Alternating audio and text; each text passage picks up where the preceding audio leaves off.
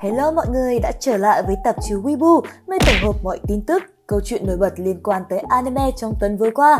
Thôi, không dài dòng nữa, hãy cùng tới luôn với nội dung chính của chúng ta trong ngày hôm nay nào.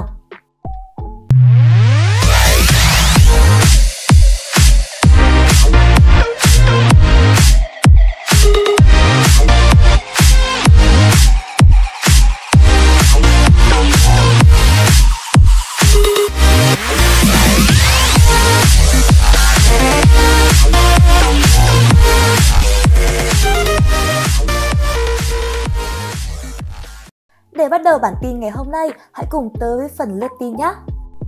1. Kadokawa mới đây đã đăng teaser video thứ ba trong mùa thứ hai của anime Made in Abyss Tetsujisu no Ogonkyo Made in Abyss The Golden City of Scorching Sun, bộ phim chuyển thể từ manga của Akihito Tsukushi.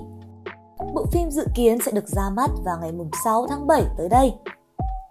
Không uổng công sau 2 năm chờ đợi thì bộ phim điện ảnh Doraemon, Nobita và cuộc chiến vũ trụ tí hon 2021 đã gây bão khắp phòng vé Việt Nam khi đứng đầu doanh thu phòng vé trong suốt 7 ngày liên tiếp kể từ khi được công chiếu chính thức.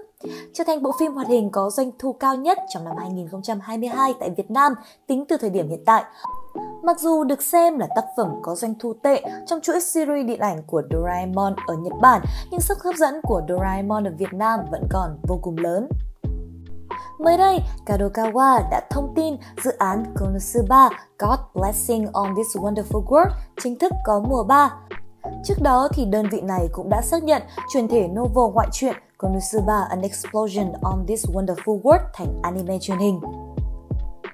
Vừa qua, trên số thứ 26 năm nay của tạp chí Weekly Shonen Jump do nhà xuất bản Shueisha phát hành đã xác nhận bộ manga Bokuto Roboko của tác giả Suhi Miyazaki sẽ được chuyển thể thành anime truyền hình. Tài khoản Twitter chính thức của Love Live đã tiết lộ hình ảnh visual cùng dàn diễn viên mới sẽ xuất hiện trong mùa thứ hai của Love Live Superstar. Phim sẽ lên sóng vào ngày 17 tháng 7 trên NHK Educational. Trong web chính thức của anime Classroom of the Elite, chuyển thể từ light novel của Sogo Kinugasa đã tiết lộ rằng mùa thứ hai của anime sẽ chính thức ra mắt vào ngày 4 tháng 7.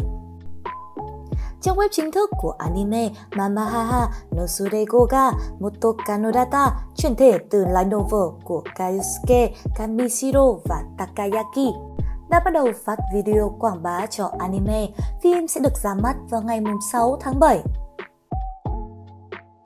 Được rồi, vậy là chúng ta đã điểm qua một số tin anime nhanh trong tuần vừa rồi. Còn bây giờ, hãy cùng tới với những nội dung chính nhé. 1.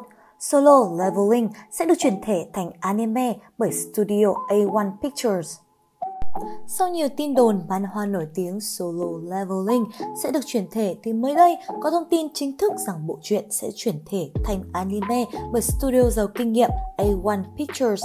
Đây cũng chính là studio đã đứng sau hàng loạt những thành công của nhiều bộ anime đình đám như Sword Art Online, Thất Đại Tội hay là Fairy Tail. Nó lại là quá hợp lý luôn. Hy vọng sự hợp tác này sẽ mang tới một siêu phẩm hành động mãn nhãn. Hóng quá đi thôi! 2. Manga huyền thoại một thời Berserk, Kiếm sĩ đen sẽ chính thức trở lại. Vào ngày 6 tháng 5 năm 2021, người hâm mộ manga anime trên toàn thế giới đã vô cùng thương tiếc khi nhận được thông tin rằng tác giả Kentaro Miura đã ra đi và tưởng chừng như bộ manga siêu phẩm này Berserk Kiếm sĩ đen sẽ cũng dừng lại nhưng vô cùng bất ngờ khi mới đây trên trang Haku Senza thông báo rằng Berserk sẽ chính thức quay trở lại và chốt kèo ra mắt vào ngày 24 tháng 6 năm 2022. Đây thực sự là điều mà các fan manga, anime lâu năm đã hóng chờ từ rất lâu và đây cũng thực sự là một năm tuyệt vời với người hâm mộ khi có rất nhiều bộ truyện tưởng chừng như sẽ không trở lại nữa lại bất ngờ hẹn ngày tái ngộ cùng các fan.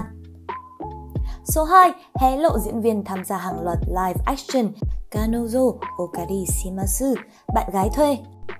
Trang web chính thức cho bộ live action Bạn gái thuê chuyển thể từ manga của Reiji Miyajima đã tiết lộ rằng Shiori Agita sẽ tham gia vào với bộ phim với vai diễn Mami Nanami.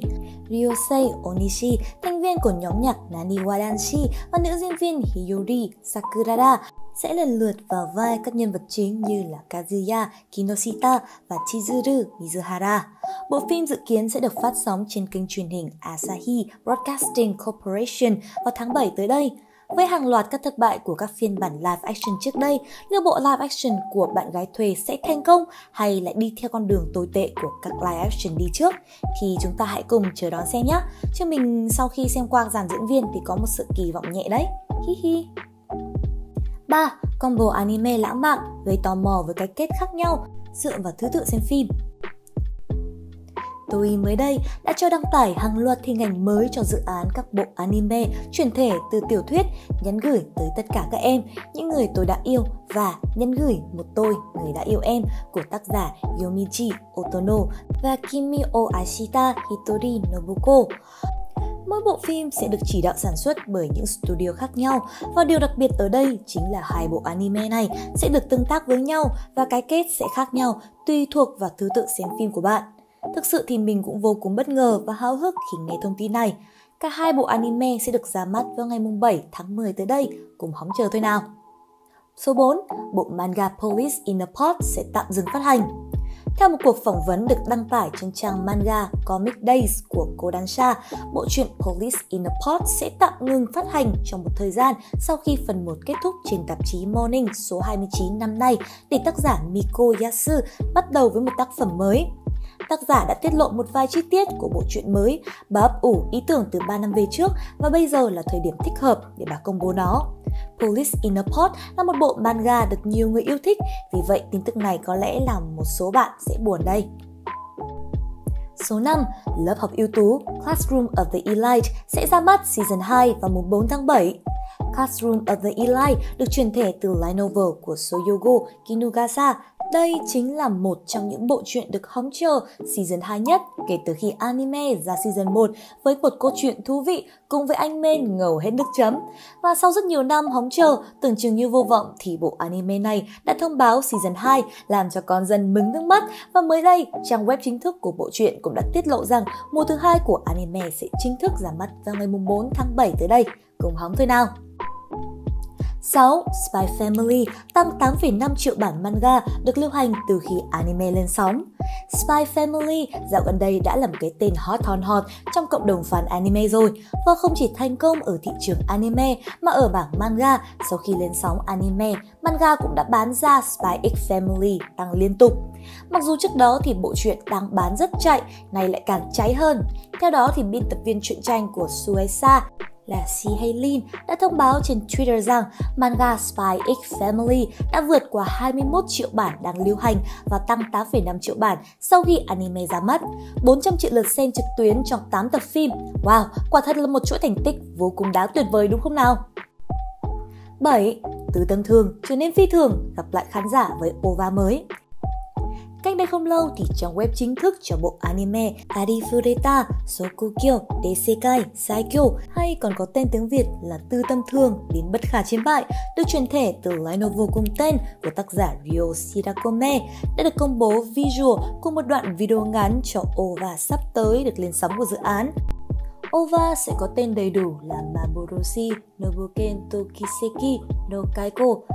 Cuộc phiêu lưu, ảnh ảo và cuộc gặp gỡ kỳ diệu OVA sẽ kéo dài trong 40 phút và sẽ được ra mắt với khán giả vào ngày 25 tháng 9 này. Anime trong tuần mà bạn phải xem. Được rồi, vậy là chúng ta đã điểm qua những thông tin cực kỳ thú vị về anime trong tuần vừa qua rồi. Và bây giờ hãy cùng tới với chuyên mục anime bạn phải xem trong tuần này nhé.